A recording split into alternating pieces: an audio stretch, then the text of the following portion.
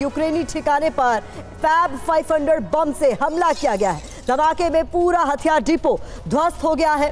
Dnieper नदी के किनारे बना ठिकाना तबाह हो गया। तो फैब 500 का इस्तेमाल एक बार फिर से यूक्रेनी ठिकाने को टारगेट करने के लिए किया गया है और इस धमाके में पूरा हथियार डिपो ध्वस्त हो चुका है, तबाह हो चुका है।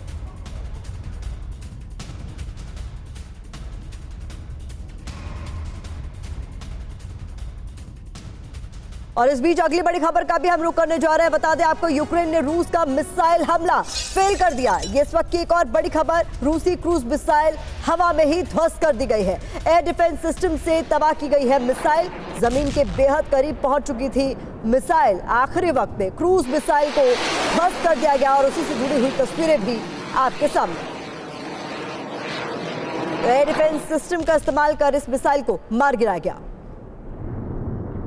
ये मिसाइल ज़मीन के बेहद करीब पहुँच चुकी थी और आखिरी वक्त में क्रूज मिसाइल को किस कदर ध्वस्त किया गया, ये तस्वीरों में आप देख सकते हैं।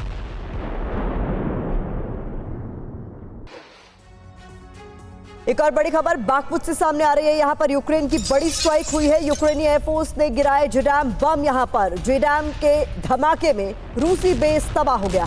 हमले में रूस के दर्जनों सैनिक मारे जाने का दावा किया जा रहा है। तो यूक्रेनी एयरफोर्स का ये बड़ा हमला। जेडैम के धमाकों में रूसी बेस के तबाह होने की खबर भी सामने आ रही है। हमले में रूस के दर्जनों सैनिकों के मारे जाने का दावा किया जा रहा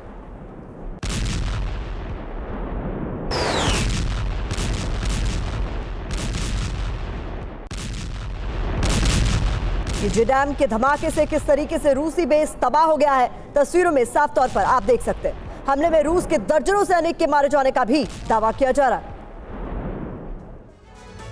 और इधर यूक्रेन का रूसी ठिकानों पर ज़बरदस्त हमला भी देखा गया है। बता दें आपको, यूक्रेनी एमएलआरएस से अंधाधुंध फायरिंग की गई। हमले में रूस को बड़े स्तर पर नुकसान की खबर भी सामने आ रही है। ये तस्वीरें आप देख रहे हैं, यूक्रेनी एमएलआरएस से अंधाधुंध फायरिंग की। बताया जा रहा है कि इससे रूस को हुआ है भारी नुकसान।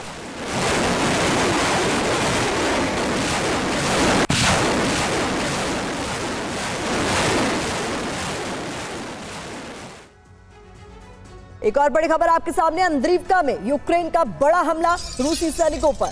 ड्रोन से बमबारी की गई है। हमले में कई रूसी सैनिकों के मारे जाने की खबर भी सामने आ रही है। तस्वीरें आपके सामने अंद्रीवका से आ रही हैं। यहाँ पर यूक्रेन का बड़ा हमला हुआ है। रूसी सैनिकों पर ड्रोन से किस कदर बमबारी की गई है, ये तस्वीरों में साफ़ तौर पर देखा जा सकता है। इस हमले में कई रूसी सैनिकों के मारे जाने की खबर सामने आ रही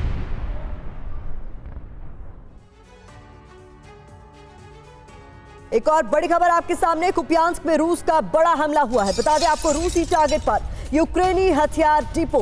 एमएसटीएबी होविजर से निशाना साधा गया है। यूक्रेन के कई पोजीशंस तबाह हो गए हैं। ऐसा दावा रूस की तरफ़ से किया जा रहा है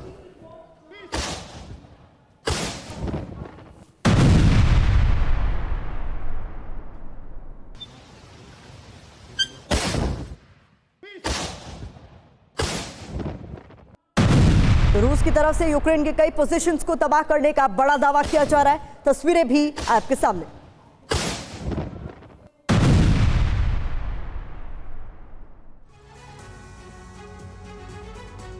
और इस बीच बड़ी खबर सामने आ रही है, जहाँ मॉस्को में बड़े हमले की कोशिश हुई है। मॉस्को में यूक्रेनी ड्रोन से हमला किया गया।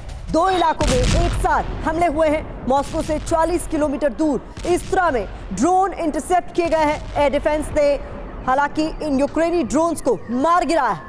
तो ये बड़ी खबर सामने आ रही है, जहाँ पर यूक्रेनी ड्रोन्स को इंटरसेप्ट कर एयर डिफेंस ने मार गिराया है, लेकिन एक बार फिर से मॉस्को में हमले की कोशिश हुई।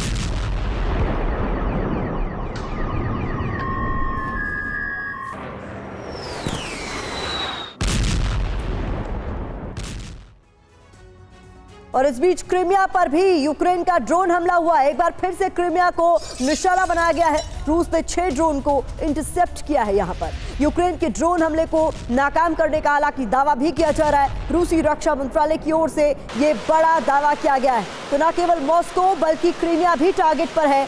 ये बड़ी खबर सामने आ रही है, जहाँ पर यूक्रेनी ड्रोन से हमले की कोशिश यहाँ पर की गई हालाँकि हमले को नाकाम करने का दावा भी किया जा रहा है।